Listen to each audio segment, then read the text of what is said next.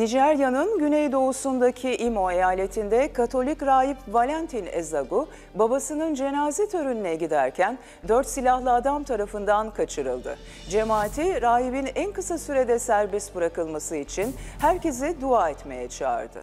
Nijerya'nın güneydoğusundaki Imo eyaletindeki Katolik rahip Valentin Ezagu, babasının cenaze törenine giderken dört silahlı adam tarafından kaçırıldı. 15 Aralık'ta 300 öğrencinin kaçırıldığı saldırıyı radikal Boko Haram terör örgütü üstlendi. Abuja Başepiskoposu Ignatius Kaygama ülkedeki yüksek kaçırılma ve ölüm oranlarını kınayarak hükümeti daha fazla güvenlik önlemleri almaya çağırdı.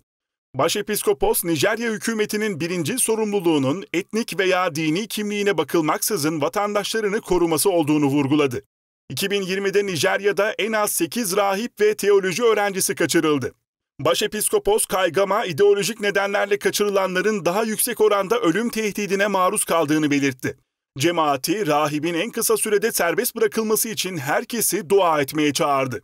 Rahibin kaçırılması Nijerya'nın kuzeybatısındaki Katsina eyaletinde geçen hafta yüzlerce öğrencinin kaçırılmasından sonra gerçekleşti.